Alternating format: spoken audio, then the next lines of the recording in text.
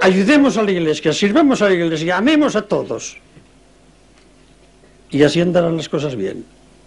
¿Y cómo andarán las cosas bien? ¿Y cómo ayudaremos a la iglesia? Procurando, estamos en el tema de todos los días, cada uno vencerse a sí mismo. Esta fuerza que tiene de la ropa hacia abajo, decir, no señor, hacia arriba.